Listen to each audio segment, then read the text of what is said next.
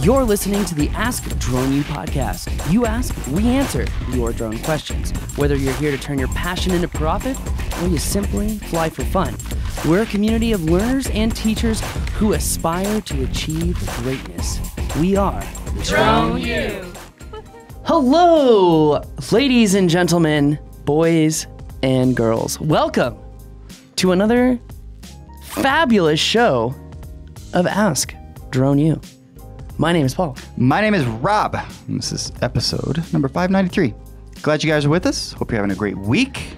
Thanks for hanging out. Yes, hope you are out there enjoying the clear blue skies, flying away and enjoying life. Today, Indeed. we got a question about operations manual. Not quite sure what he's talking about here. You're not? No, but I'll let's hear the question one more time. We're just going to jump right in today. Hey guys, uh, Todd Ferris out of San Francisco Bay Area, ferrismedia.com. Uh, got a question for a single person business like myself. A question comes up every once in a while about establishing policies and procedure manual.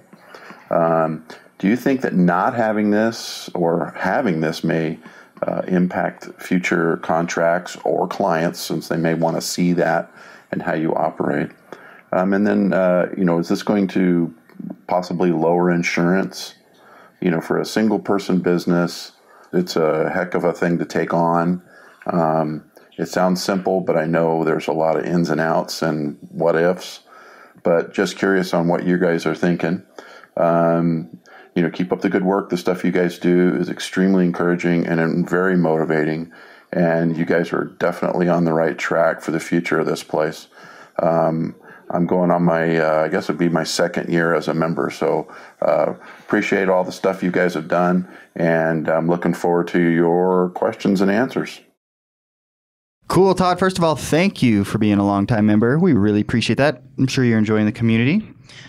Yeah, I'm happy to hear that you're a part of the community, and it's a very good question. Um, although I think that the question has different perceptions and answers mm-hmm. based on those perceptions. For example, is it a good idea to create a system if you're ever going to scale your business for operating procedures that's going to be good for any new pilot coming on board? Yeah, absolutely. And, and so I actually, using the terminology that Todd used, policies and procedures, there's a couple of different things that can be meant by that. So some people have more of an internal policies and procedures, like how to deal with employees, payroll, um, those kinds of issues, versus more of an ops type of policies and procedures, which I think is probably what he's referring to, would be more my guess, which then lends itself back into what you're talking about, which is developing systems. So one of the things he asked was, is this going to help me get business or is it going to be important to people that I'm trying to get business from?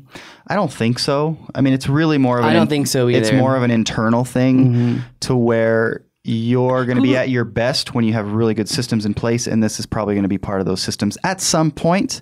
Not saying you need to go do that right now.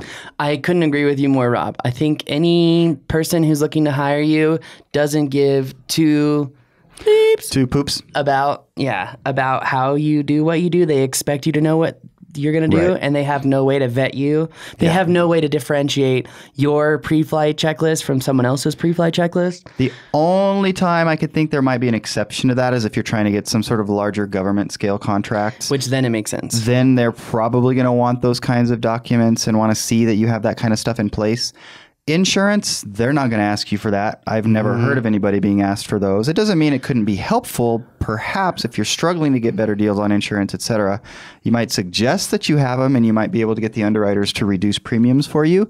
That's going to have to be a conversation that I think you would initiate. I don't think they're going to ask you for those. Um, another thing, another thing to really think about too when it comes to procedures and policies is in your procedures and policies, do you have the paperwork necessary to protect those pilots who are out in the field? So there's the whole procedures and guidelines aspect to it, but also I would say you're going to want to give your people the drone pilot field kit, which has all the legalities, information, and whatnot that I think Yep. will really help people out. Sure. Um, but you know, I kind of lost my train of thought. I was going to say something else as far as the procedures and guidelines go in regards to. Oh, that's uh, in regards to government contracts. I made a request to have Jake not you're not your Jake, a different Jake, Yep. uh, on from the Air Force to come on and talk about what drone pilots should expect to do in order to get government or GSA work. That's cool. Yeah, so they're coming on the show. I don't know when, but it will be happening. So if you guys are interested in hearing more about that, that uh, we do have that set up. We realize that is important to you, but. Um, you know, I, I have nothing more to say because you said it. Setting up a system is definitely a good idea for employees, for scalability, for continuity. But is it necessary, really? No. Do you have to jump on it right away? No. Is a client ever going to judge you on it? Doubtful. It's possible, very doubtful. Um, and you should have a drone pilot field kit because all the legal information to protect your people and your business is going to be in there and you should always give your people that document so Yeah, absolutely. So as we talk about systems, the way that I might look at this for somebody like um, Todd or anybody that's in his position is just start doing it piece by piece. Chip away at it. You're not even necessarily thinking of the fact that you're building an ops manual. You're just putting together the pieces of a system that you need. For example, different checklists, those kinds of things.